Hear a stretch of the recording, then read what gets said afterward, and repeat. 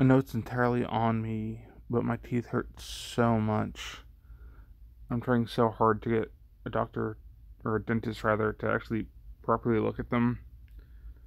But I have to go through a doctor to get them to sign off on paperwork so that the surgeons can look at my actual mouth and take out the teeth that need to be taken out. And ah, da, da, da. And I don't have a primary doctor or whatever they need. So I have to do all of this stuff. Do all of this stuff. And they didn't tell me until today, Monday. My appointment's on Thursday.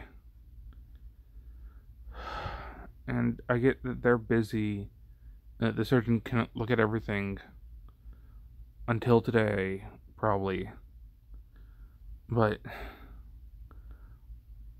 I just wish there was a way for people to, for them to streamline this, so I could know ahead of time that I needed the doctor, a, uh, a general doctor, to sign off and say, "Hey, it's okay for him to have this surgery,"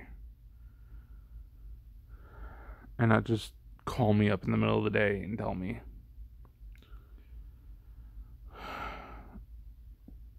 Yeah, I'm annoyed right now.